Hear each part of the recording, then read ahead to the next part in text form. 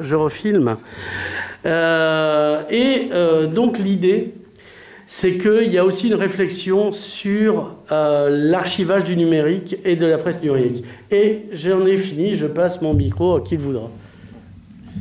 Alors donc la parole maintenant à, Gérard Bonnet, à la fois en tant que coordinateur de co-coordinateur de l'ouvrage, mais aussi en tant que rédacteur, historien indépendant bien sûr, et rédacteur d'un espèce de tableau impressionniste euh, de ce qui s'est passé euh, dans la vie de la presse roussillonnaise de 1870 à nos jours. Il va nous offrir quelques jalons et puis élargir au-delà la discussion, peut-être lancer des thématiques de débat, puisqu'après on va rentrer dans le cœur du sujet et on va débattre. Oui, donc je reprends le micro, effectivement, l'intitulé de, de, ma communication euh, du colloque de Paris lieu et qu'on retrouve dans le livre, c'est la presse quotidienne d'opinion, d'information générale à Perpignan, de la Troisième République à nos jours. Donc c'est quelque chose de très vaste, puisque ça part, c'est intitulé du bouquin aussi, de 1870 à 2000. Euh, j'ai recensé, alors je parle bien de la presse quotidienne, euh, pas la presse hebdomadaire, je parle exclusivement de la presse politique et d'information générale. Donc je ne parle pas de la presse culturelle, de la presse euh, comment dire, syndicale, de la presse associative, et exclusivement des quotidiens. Donc j'ai recensé une quinzaine de quotidiens de 1870 à nos jours, le plus ancien étant le journal des Pyrénées-Orientales le journal des Pyrénées-Orientales était un journal qui a été créé en 1815, donc vous voyez, ça remonte assez loin. Et le dernier qui a été créé sur le département, mais qui n'a pas duré très longtemps, c'est l'Écho du Roussillon, qui a euh, vécu, je crois, six mois en 2014. Donc c'est exceptionnel de nos jours de lancer un quotidien. C'est exceptionnel et en même temps c'est un petit peu fou, euh, irréaliste et pour cause. Euh, le journal a disparu assez, assez vite. On peut le regretter, mais c'est ainsi. Donc moi, ce que j'ai voulu faire, si vous voulez, c'est euh, tracer un, tableau de, de, la presse, mais d'une manière très, très simple. Euh, je m'attache à situer ces journaux dans l'histoire de la presse, donc sur la période, en m'appuyant sur la législation et très rapidement sur les moments politiques et j'insiste surtout sur euh, les journaux eux-mêmes. Euh, je veux dire par là que sur la, quinzaine de, journaux que je, mentionne dans, mon travail, dans cette communication, dans ce texte, il y a des journaux de, toute coloration, toute couleur politique. Euh, et, pour cause, au XIXe siècle, il y avait beaucoup de journaux et j'allais dire que chaque parti avait son canard. C'est plus le cas aujourd'hui, puisqu'il euh, y a un journal que vous connaissez, que je connais mieux que vous sans doute, c'est l'Indépendant, qui euh, finalement euh, est, seul et monopolise d'une certaine manière l'information dans le département. Mais on ne peut pas dire que non plus que ce soit, on ne peut pas dire également que ce soit de sa faute, puisque la situation politique, économique du département, social également, il a largement contribué. Donc, euh, parmi ces journaux, alors moi je ne sais pas trop comment faire parce que je, pourrais vous les citer tous, mais c'est peut-être long et fastidieux.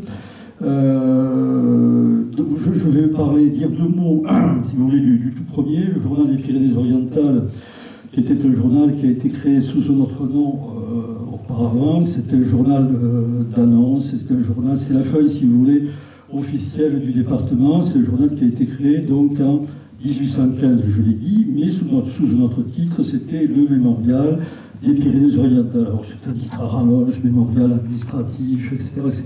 Je vous passe la longueur du, titre et je me tiendrai euh, à son titre définitif à partir de 1834, le journal des Pyrénées-Orientales.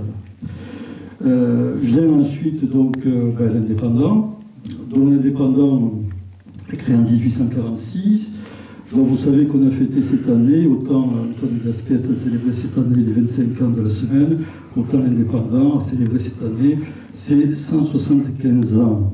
Donc l'indépendant a été créé en 1846, et ce titre on peut dire que c'est un des plus anciens journaux. Euh, quotidiens, pardon, quotidien euh, existant en activité, en tout cas aujourd'hui. D'autres journaux ont suivi, je, pourrais les, citer, mais peut-être j'y reviendrai tout à l'heure. Ce que je puis vous dire, c'est intéressant, je reprendrai la parole tout à l'heure peut-être pour détailler chaque canard, et si vous voulez, on pourra s'apesantir un peu plus sur l'indépendant. Euh, aujourd'hui, je disais que l'indépendant, c'est un journal dans le département, quotidien ans, évidemment. Il y a le Travailleur catalan et la Semaine du Roussillon, c'est des hebdomadaires. Il y a aussi le Petit Journal. Euh, mais bon, le grand quotidien d'information, c'est l'Indep.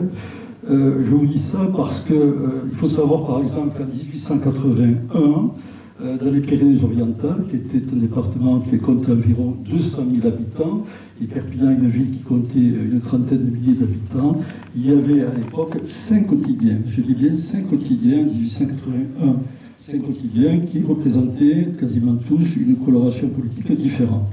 Voilà. je m'arrête là pour l'instant, je passe le micro à Denis, et ensuite je le, prendrai, je le reprendrai pardon, pour évoquer plus longuement les autres journaux et l'indépendance. Sinon, tout ce que j'ai à dire, je m'en la parole, ce n'est pas l'objet de cette manifestation.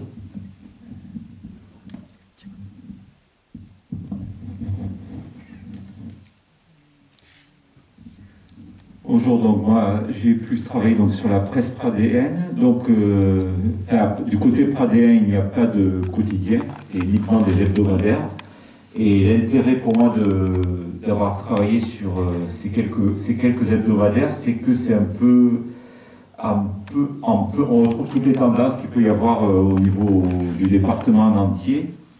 Alors il y a vraiment un grand journal qui, qui par sa longévité euh, domine un peu la période, c'est le Canigou, donc qui dure de 1880 à 1929, donc quasiment 50 ans. Donc ce qui est intéressant, c'est de voir comment les journaux peuvent évoluer. Par exemple, le Canigou, il, est créé quasiment en même temps qu'un autre journal qui s'appelle Le Progrès.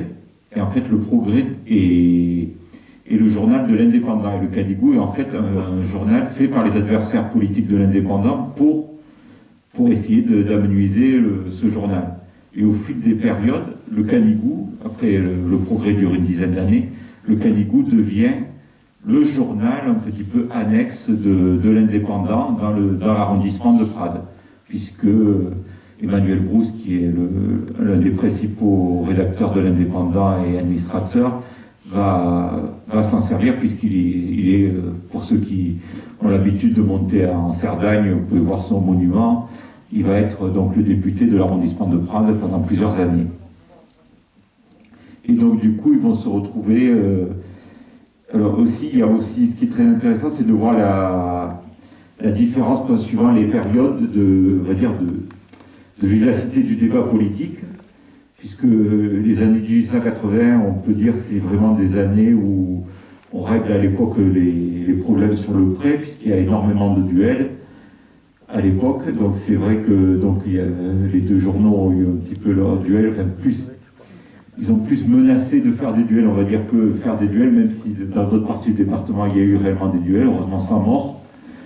Ensuite, par contre, les, les polémiques vont se règlent moins sur le prêt, mais deviennent très violentes, puisqu'elles elles peuvent toucher à, des drames humains, puisque il y a eu des grosses polémiques vraiment entre journaux prendéens, c'est entre donc, le Canigou et son voisin La Montagne, qui lui est plus de centre-gauche. Les deux journaux vont s'affronter autour de la catastrophe du Paya, qui est la, qui au, moment de la mise en place de la, de la ligne du train jaune, juste avant le, départ du, train autour des essais, une catastrophe qui a tué, si je ne me trompe pas, six personnes. Donc évidemment, ça va être euh, le responsable, on, va chercher les responsables et ça va devenir des, attaques très très très violentes entre les deux journaux. Donc, euh, donc ces journaux, ils durent plusieurs années. Après, c'est vrai que sous la Troisième République, il y a deux dates marquantes qui ont achevé plusieurs journaux. C'est évidemment 14-18 et 39-45 où beaucoup de journaux locaux n'ont pas survécu. Mais donc je finirai euh, cette, petite intervention par là. Ce qui est intéressant de voir, euh, de la semaine du Roussillon et du Travailleur catalan le, disait dans leur introduction, c'est que les journaux doivent évoluer. On était, ces, journaux, ceux qui ont le plus tenu, c'est-à-dire le, le Canigou et la Montagne, sont des journaux qui ont dû évoluer. La Montagne était un journal 100% sur Prades, mais il a fini pour survivre, puisque je pense que je n'ai pas eu les comptes de journal de l'époque, mais pour survivre, il a dû se transformer en journal vraiment local, euh, du département. Donc ça a été pour lui, et qu'il est, devenu donc vraiment l'organe du, du, Parti radical socialiste des Pyrénées-Orientales. Quant, à, quant à, au Caïgou, qui malgré 50 ans d'existence, lui aussi commençait à avoir des difficultés à, à survivre, il s'est petit à petit, euh, il a fait sa place au sport au début des années 20, c'est une évolution qu'on voit un peu dans tous les journaux. Plus en plus de littérature, ce qui est par exemple dans les années 1880 quand le journal a été créé, c'était très très rare. On peut voir aussi le, les débuts de, des photos, qui sont très très rares aussi dans le département, commencent à arriver dans les années 20-30. Et au final, euh, comme la montagne avant lui, il abandonne vraiment la, partie, on va dire, pradéenne de, de, sa spécificité pour devenir, pour s'appeler la vérité, devenir lui aussi un organe politique à, 100%. Donc voilà. Alors, ce qui est intéressant dans ce que vient de dire euh, Denis Corragé, c'est que une feuille a été créée du côté de Prades pour combattre l'indépendant. Et euh, si aujourd'hui, si on prend l'exemple du travailleur catalan qui fut créé en 1936 par un parti, euh, à l'époque, les mouvements d'opinion, les tendances politiques se fédéraient autour d'un journal. Et pendant longtemps, euh, Gérard va le dire mieux que moi, on a parlé ici, pour les républicains, du parti de l'indépendant. Et je fais le lien avec la première conférence qui a eu lieu fin mai, où Guy Jacques nous parlait du clan Arago, et c'est autour, pas seulement entre autres des Arago, que s'est créé ce journal, est-ce que Gérard, tu pourrais nous dire un mot du Parti de l'indépendant et euh, peut-être nous dresser rapidement euh, son évolution? On a parlé de Brousse, ça doit peut-être vous évoquer bien sûr des monuments, des noms de rues. Euh, il y a un cours à une grande avenue à Perpignan qui s'appelle Lazare Escarguel. il y a une rue qui s'appelle Frédéric Escagné qui évoque Denis Coragier dans son article. En bref, il y a un lien, je crois, organique, il va en parler mieux que moi, entre l'indépendant d'une part et le mouvement républicain d'autre part. Oui, je ferai, je ferai vite parce que ce serait une conférence. Oui. Oui, bon, effectivement, en 1846, il y a des élections législatives dans le département. François Rago est élu dans le département depuis 1831. C'est un député républicain, mais républicain modéré. Évidemment, c'est, comme l'a écrit un député, pardon, un préfet des Pyrénées-Orientales, Arago, c'était le talisman, le talisman des Pyrénées-Orientales. C'était la grande personnalité, je crois que c'est toujours une des plus grandes, sinon la plus grande personnalité, originaire native du département, qui euh, s'est exprimé au, plan national. Je pense, de mon point de vue, en tout cas c'est personnel, je pense qu'Arago est supérieur à Joffre qu'on connaît, ou supérieur pour parler de quelqu'un beaucoup plus récent, Arthur Comte. Donc pour moi, Arago, il nous semble que c'est indéniable, c'est le grand personnage, dont le talisman d'hier, de mon point de vue, c'est toujours un talisman aujourd'hui. En 1846, euh, il y a des élections législatives, Arago est élu depuis 1831, mais euh, sa réélection n'est pas assurée. Dès lors que euh, son élection n'est pas assurée, il y a des républicains et des légitimistes. Je ne veux pas rentrer dans les détails parce que ce serait compliqué. Je dirais simplement des légitimistes parce que pour faire un journal, il faut des hommes, mais il faut aussi l'imprimerie, donc un imprimeur. Les républicains n'avaient pas d'imprimeur, ceux qui avaient un imprimeur, c'était les légitimistes.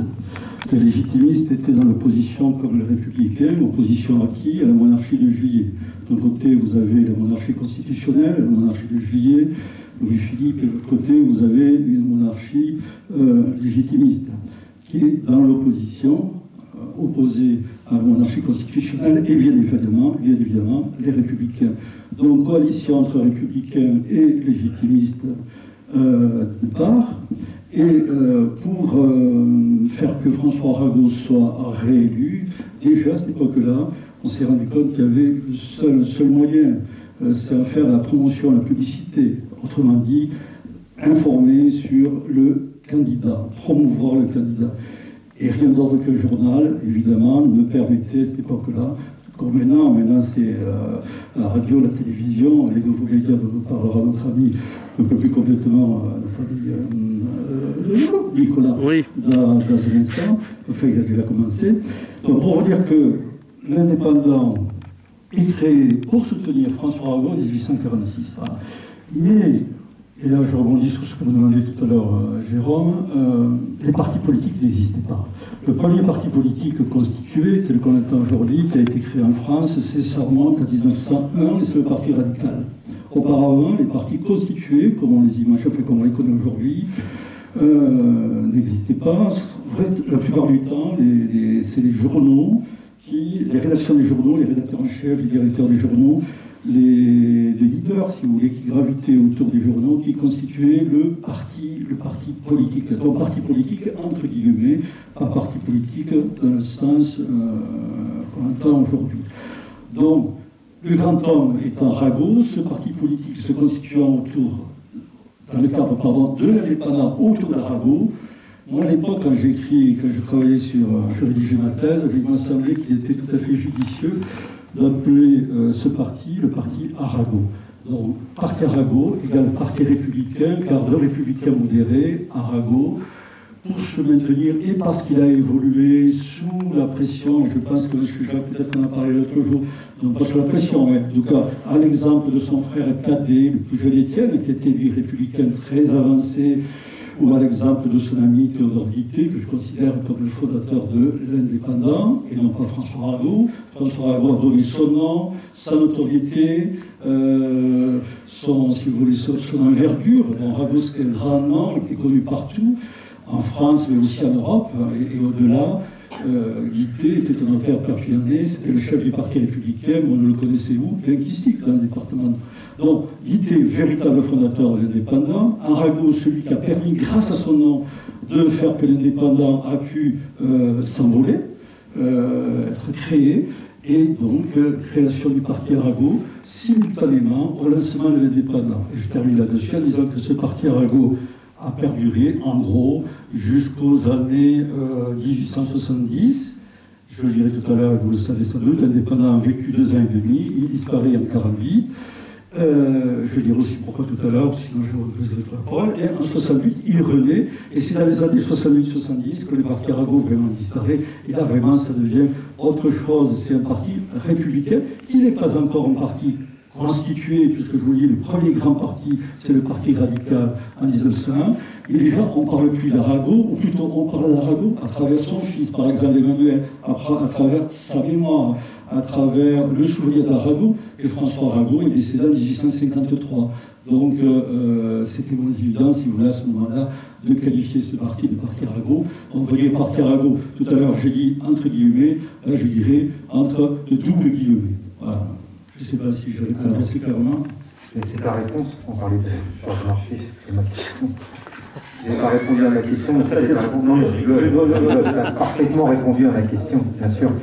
Une anecdote, quand même, qu'avait, enfin, qui rappelle, qu'avait euh, évoqué Guy Jacques, c'est que le frère cadet de François Arago, Étienne, qui est multicasquette, est l'un des deux fondateurs du Figaro qui existe toujours.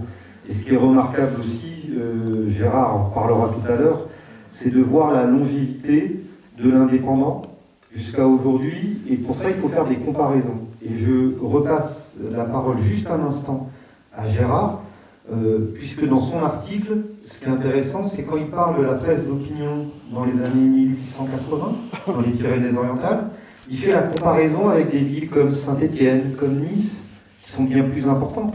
Et quel est ton constat, Gérard, sur la diffusion, bien sûr? Oui, mais on constate que dans, des, villes, importantes comme plus importantes que Perpignan, pardon, je, n'ai plus la, en tête, parce que c'est peu vieux, la, population de, de, ces villes. ce que je puis vous dire, c'est que de grandes villes qu'on connaît aujourd'hui, que ce soit Montpellier, pour prendre des villes de proximité, Toulouse, euh, ou plus loin, euh, Rouen, euh, Nice, etc., il y avait des journaux, plusieurs journaux, comme je vous l'ai dit, 1880, Perpignan, 5 quotidiens. Dans les autres villes aussi, il y en avait beaucoup.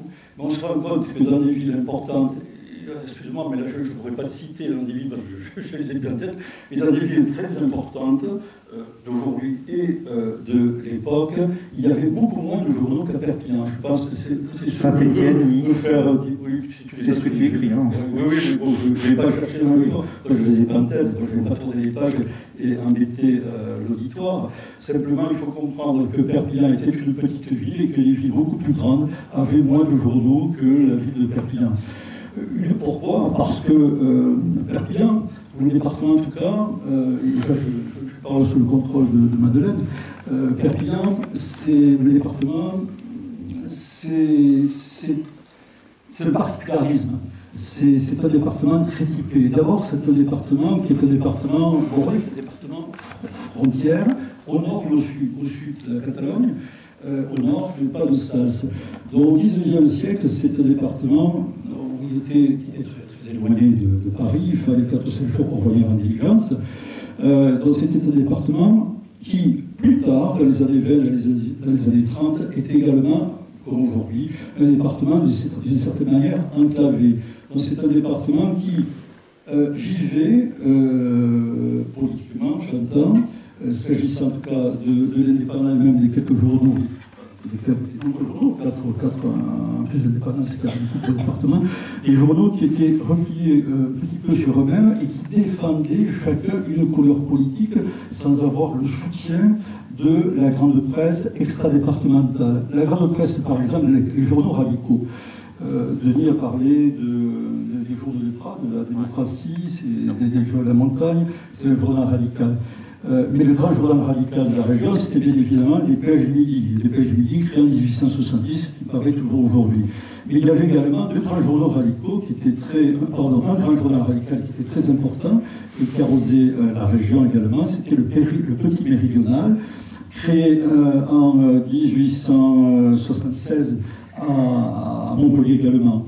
Donc deux grands journaux radicaux qui arrosaient le département. De côté la dépêche, je parle là des années 1930, hein, euh, parle plus du 19e siècle, 1930, 1920, 30, 40, avant le deuxième, disons dans l'entre-deux-guerres. Ces journaux arrosaient Perpignan, mais euh, Perpignan était quand même, pardon, l'indépendant était quand même rond son pays. Euh, malgré cette concurrence extra-départementale politique, l'indépendant était pour ce pays. D'abord parce qu'il euh, défendait de couleurs différentes des autres journaux, euh, puisque l'indépendant était à ce moment-là parti de l'extrême gauche en 1856-1848, était devenu un journal de centre-droit, donc il défendait des, positions différentes. Mais en même temps, si je remonte un peu plus loin dans le temps, en 1880, à cette époque-là où c'était le journal qui était situé à gauche, gauche, gauche modérée, centre, centre-gauche, je dirais à ce moment-là, il était concurrencé par des journaux locaux qui, eux, en tout cas par des, idées défendues par des journaux locaux, qui euh, n'avaient pas le soutien d'une presse extra-départementale. La seule grande presse extra-départementale étant la presse radicale avec la dépêche et le petit méridional. Il y avait également à Montpellier un journal de droite euh, monarchiste catholique qui s'appelait L'Éclair, qui lui a été créé en 1876 et qui euh, défendait ces idées-là. À Perpignan, il y avait aussi d'autres journaux, des journaux locaux qui défendaient ces idées-là, et surtout, surtout, à partir de 1870 jusqu'en 1944, Le Roussillon était un journal qui, de la droite monarchiste, a viré sous l'occupation à l'extrême droite collaborationniste. Euh, voilà, c'est bon. J'ai retrouvé la page et c'est intéressant quand même. Euh, dire cocorico quand on est en pays catalan, c'est peut-être pas bon, bon terme, mais euh, en tout cas, c'est intéressant de montrer à quel point euh, cette presse était d'opinion, et on va y revenir dans un instant, était dynamique. Euh, Gérard écrit, page 30 du livre que vous lirez bientôt, que ce tirage de six quotidiens d'opinion est au-dessus de Saint-Étienne, Nancy, Limoges, Dijon, tout, bien plus peuplé du double, voire du triple de la population perpignanaise, au-dessus de Rouen, Reims, et puis Montpellier. Hein. Euh, on est au-dessus de Montpellier, Brest, bref, euh, il y a une vraie vie démocratique qui pousse, je pense, à, pas seulement, il explique toutes les raisons, mais à la création euh, de ces journaux, et puis une fameuse loi, celle de 1881, enfin, qui a parlé de la date tout à l'heure sur la liberté de la presse, qui est intéressante. on, va, revenir dans le vif du sujet, parce qu'il y a, enfin, évoqué parmi tous les sujets. Il y a Antoine, Il y a René, Nicolas l'a abordé, Gérard pourra l'évoquer, Denis, et même Madeleine qui parle des anciens combattants et de la presse des anciens combattants qu'on pourrait trouver neutre et imaginer spontanément neutre dans l'entre-deux-guerres, et où elle évoque qu'il y a quand même deux journaux avec deux tendances politiques différentes, elle va pouvoir y revenir dans un instant. Toujours est-il que, messieurs, madame, euh, politique et presse, liaison dangereuse Parce qu'à chaque fois, euh, on peut remarquer dans le Travailleur catalan, journal est actuellement écrit hebdomadaire communiste. Il est écrit aussi journal ouvert, pour esprit libre. Au pluriel. Euh, dans votre article, Antoine, vous notez que la volonté d'emblée euh, de votre feuille, c'était la liberté d'être libre. le journaliste troubadour qui est Nicolas Codeville revendique une liberté totale. L'indépendant portait bien son nom, enfin en tout cas voulait porter son nom. D'autres journaux aussi voulaient être indépendants de l'indépendant à Prades. liaison dangereuse dans le passé, aujourd'hui, qui prend la parole? Allez, toi en premier, et puis après euh, Antoine, qui a dû subir, comme euh, les pionniers de l'indépendant, entre autres, de nombreux procès. Merci. Est-ce que tu peux prendre la caméra du coup? Si elle n'a pas trop chaud. Non, celle-là, ça va. Oui. Euh, alors, il y a un enjeu, il y a un enjeu de la presse, c'est l'information. Alors, qu'est-ce que c'est que l'information? Je dis souvent ce, ce truc pour rationaliser le truc, c'est baisse-toi. Vous baissez, il y a une balle qui siffle à vos oreilles. C'est une, très bonne information, merci de me l'avoir donné. Donc, quand euh, on, a un outil d'information, que ce soit un journal, que ce soit un, blog, que ce soit euh, une télé, une radio, euh, on est, ce sont des supports dans lesquels on diffuse des informations. donc, on permet aux citoyens de modéliser ce qui se passe sur son territoire. C'est pour ça que euh, les politiques ont raison d'essayer de mettre la main dessus. Alors par exemple, il y a, euh, il y a des, des, magazines numériques dont je n'aurai pas le nom, mais Ligne Perpignan, qui ont reçu euh, certaines sommes de certains politiques. Ce qui fait qu'ils font d'informations constantes jusqu'au moment où ils appuient plus particulièrement à un moment donné sur un sujet. Voilà. Mais bon, ça, c'est pas grave parce que le, gros problème de, l'information, c'est qu'il faut la financer et être libre, c'est très compliqué. Euh, et il y a toujours la tentation pour le politique d'avoir euh, l'information à sa main, le politique ou le financier, puisque euh, les grands journaux français sont à la main, je n'ai pas dit à la botte, euh, de, milliardaires. Donc, euh, plus, euh, plus il y a de lecteurs, et plus il est indépendant. Moins il y a de lecteurs, et plus le journal, ou le support en tout cas, a besoin d'avoir recours à la publicité. Et c'est la publicité qui est l'angle mort de la liberté de la presse. Voilà. Antoine, tu Essuie-le un peu. Oui. Antoine, les procès, puisque vous voulez sur la liberté, votre conception de la liberté. À l'occasion des 25 ans, on a demandé son avis à monsieur qui s'appelle André Laurence, euh, que j'ai eu la chance d'avoir comme directeur de la publication à l'époque où la semaine avait été rachetée, ça a duré 10 ans, euh, par l'indépendant et le groupe euh, Midi Libre. André Laurence, qui était patron du Monde, les, gens qui, avaient racheté le Monde, qui avaient racheté l'indépendant, le groupe Midi Libre, les journaux du Midi euh, avait demandé à André Laurent, qui était de, de, diriger l'indépendant. Et, et euh, il se trouve qu'il a également été directeur de publication de Semaine Roussillon. On lui a demandé, c'est pour moi, c'est une, une juriste, qu'est-ce qu'il pensait de la Semaine du Roussillon euh, à l'occasion de ses 25 ans, euh, il y a quelques mois en arrière.